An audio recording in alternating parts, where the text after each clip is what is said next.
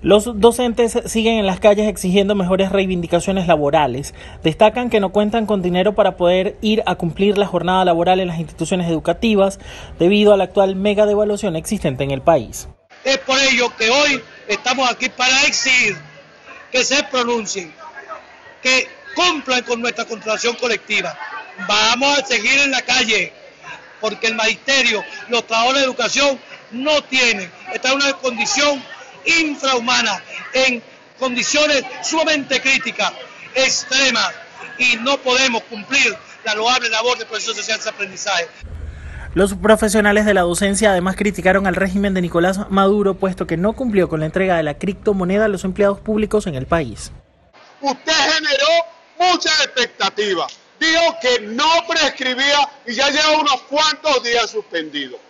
Eso generó la terrible hiperinflación que tenemos. Usted nos dejó literalmente sin salario.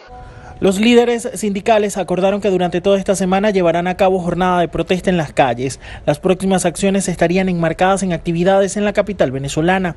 Allí decidirían si se van o no al paro indefinido.